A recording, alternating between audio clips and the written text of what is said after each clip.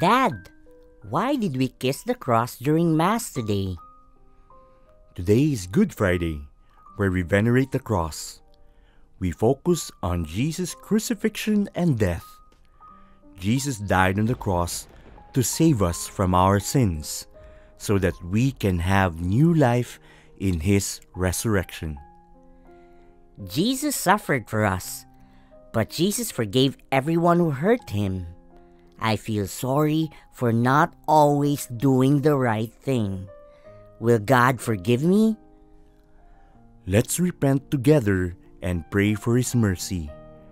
From now on, we will follow Jesus' example of loving one another, even when it's hard to do.